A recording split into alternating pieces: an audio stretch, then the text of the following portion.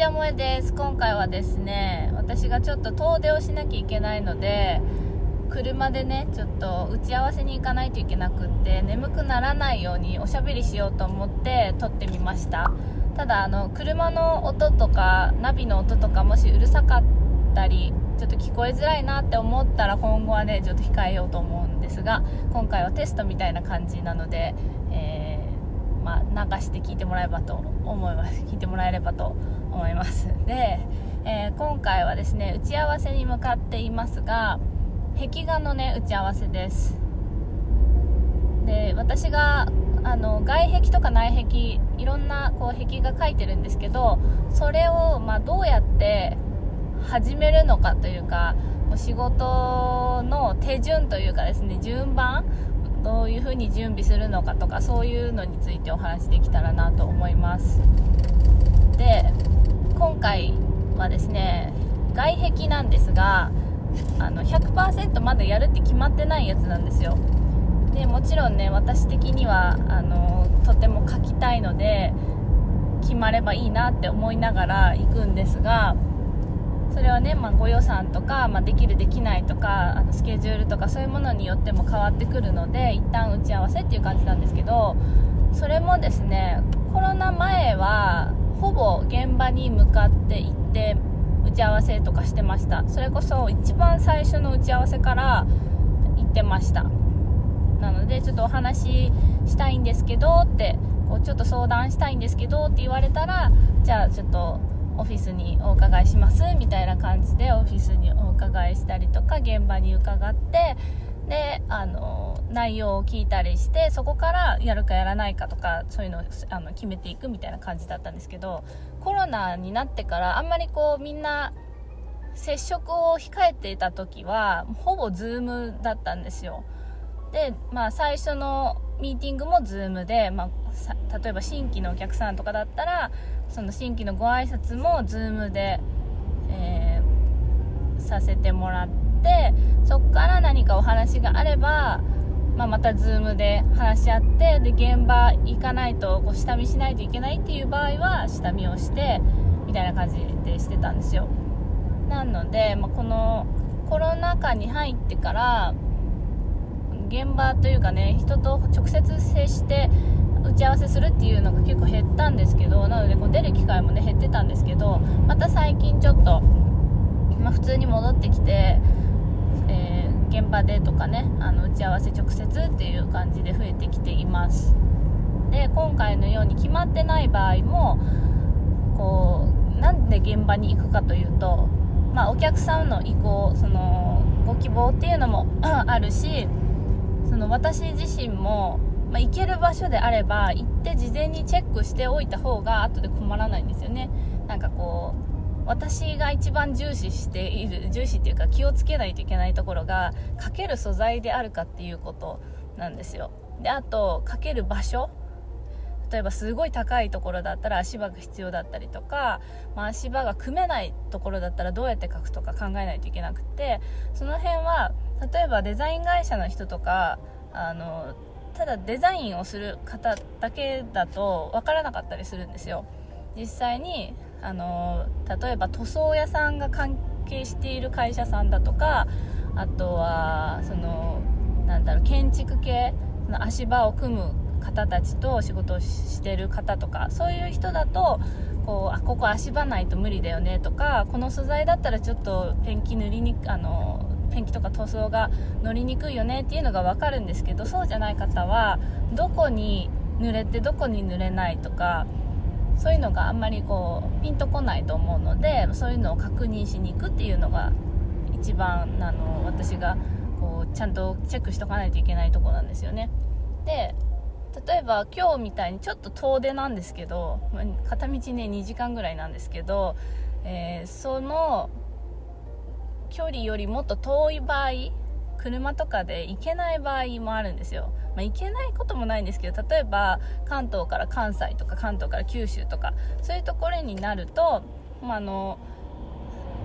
何て言うのかな。決定している場合どうしても来てくださいっていう場合は行くんですけどそうでなければその素材とかどこに書くとかそういうのが決まっている場合はあの教えてもらって Zoom とかでミーティングしてで本番例えばその本番の前にちゃんとその建物とかのサイズとかイメージの写真とか例えばそれが新しく建つところだったらイメージパースとかですね図面とかそういうものを全部見せてもらって確認してから本番あの書く日に行って書くみたいな感じにしてるんですよね。なので結構ね壁画書くってなるとなんかこの例えば1週間以内に書くからじゃあ1週間であの書けるから何て言うのかな。楽だねとは思われないと思うんですけど1週間でできちゃうんだみたいな感じで言われると思うんですがなんか結構いるんですよ。あこれ3日で書きましたとか言ってあ3日でできるんですねみたいな感じで言われるんですけどそれまでの工程が結構あってあの平均で言うと23ヶ月前から準備していきます。なのであの急なところは1ヶ月って感じですね。で本当めちゃめちゃ急ってなっても、まあ、3週間は空いてるかなって感じです。ただそうなるとめちゃくちゃあのめちゃくちゃあのスピードを上げていろいろ準備しないといけないので他と同時進行っていうのが難しくなってくるっていう感じで23ヶ月前に例えば、えー、再来月のこういう、えー、店舗をオープンするんですけどとかここのオフィスに書いてほしいんですけどみたいな話があってからえー、まあ、どういう場所に書くとかサイズとかを聞いてあとはデザインも考えないといけないのでそのデザインを書くあの自分で考える期間が必要になってそのデザインを考えてそれが一発で OK ならいいんですけどやっぱり、あののお互いのねこう何て言うのかな。私の好み 好みっていうかデザインしたものとそのクライアント様のご希望が100%こうマッチするっていうのが、まあ、なかなかこうクライアントさんに希望がない時に難しくなってくるんですよ。なんかこうあんまり希望がないから例えばじゃあ色はありで白黒ではなくて色はありでちょっと自由にちょっとわかんあんまり考えつかないんでお願いしますみたいなことが結構多くてその場合私もいろいろ種類出すんですよ。こういうコンセプトでこういう絵はどうですかみたいな感じで出すんですけどただそれをいっぱい、ま出してあげるといいねってなるんですけどそこからまた悩むじゃないですか。自分にねこれがいいっていうのがあのこれもいいなこれもいいなってなると迷うと思うのでそこからまたじゃあこれとこれ合わせてみましょうとかちょっとじゃあここ変えてみましょうっていう修正がいくつか入ってでそれをまた、ね、私がデザインし直してでそれをまた確認してでまたそこで何かあればまた修正してみたいなのが何回かあるんですよ。でもちろんそれもね人によってデザイナーさんとかその作家さんによってはもうこれしか書かないからって言って個しか出さずにもうそれを書くっていう人もいるんですよ。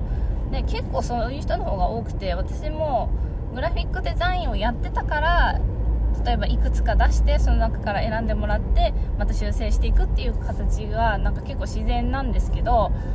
絵のことに関して絵しかやってきてない作家さんは自分のそのデザインの絵があるので何て言うのかなそれ1個だけ描く。でまあ直してって言われたら直すんだと思うんですけど結構ね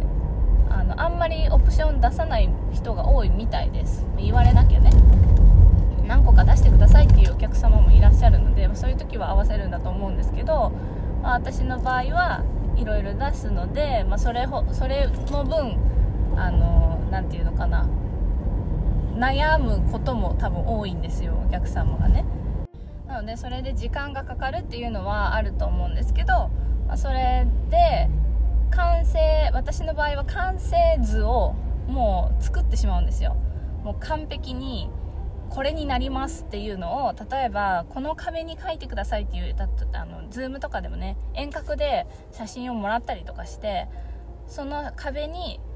自分がデザインしたデザインを埋め込んでこうなりますっていうのを見せてイメージしてもらってそれのまま仕上げるっていう感じにしてます。でなんかスケッチでスケッチだけでねささっと描いたやつでこんな感じですって言って OK ってなる人ももちろんいるんですけど、まあ、そういう人もね多いと思うんですが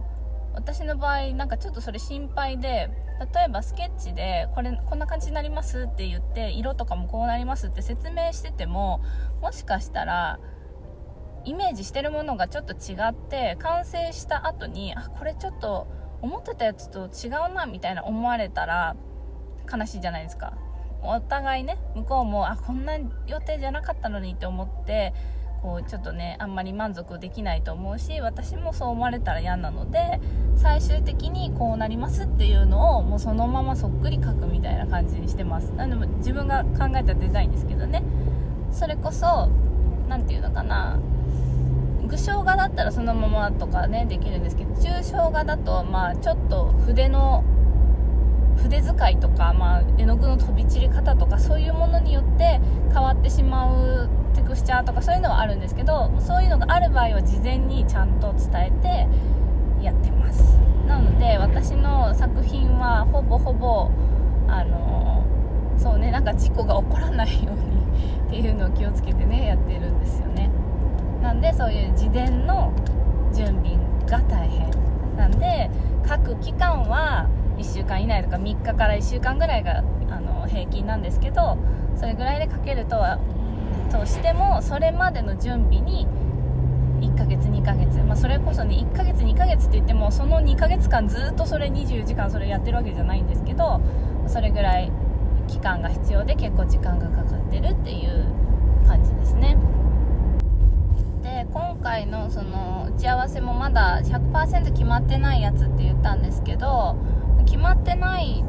ところでどうやって決めていくかっていうともう決めるのは私じゃなくてクライアント様なんですけど、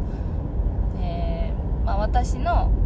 このこのサイズでこの内容でだったらこれこれこれだけかかりますよっていうのを見積もり出させていただいてそれに納得していただいてじゃあお願いしますってなったら決まるっていう感じなんですよね。であとはあの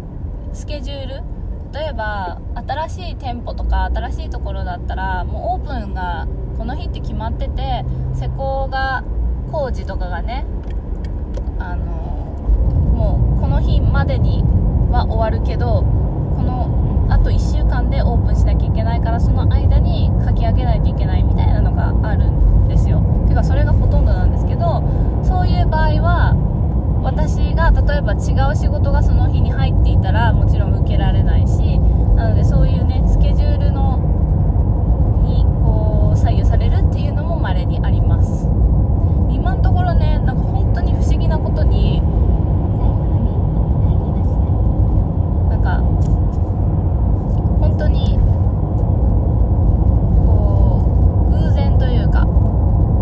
たいことにねかぶることがあんまりないんですよもちろんあのかぶったこともあるんですけどそれもね例えば1日ずらせばできるとか、まあ、そういうのでちゃんと調節できるとかねなんか結構あこの日ちょうど空いてるみたいな例えばなんだろうなライブペイントとかだったら1日とか2日とかなんですけどそれが入れられるところも本当その日しか空いてない時に入るとかそういうことが結構あってありがたくねやらせていただいてるんですけど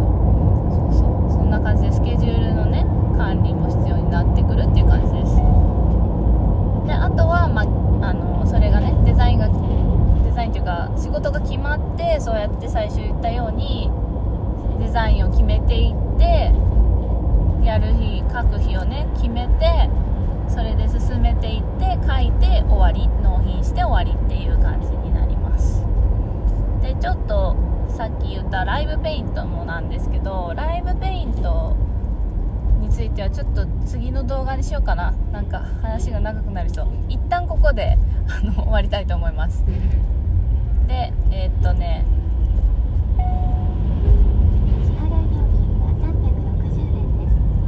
えー、っとなのでまあこうやって車でとか電車とかで移動して打ち合わせをしてっていう時間もあるっていうね。そういうなんかこう地味地味なというかこうね。絵を描いてない時もあるんだよっていうどうやってやっていくんだよっていう動画でした。何かこうこれから壁画やっていきたいなとか仕事にしたいなって思う人なんかこうキラキラしたところしか見てない方とかもねなんか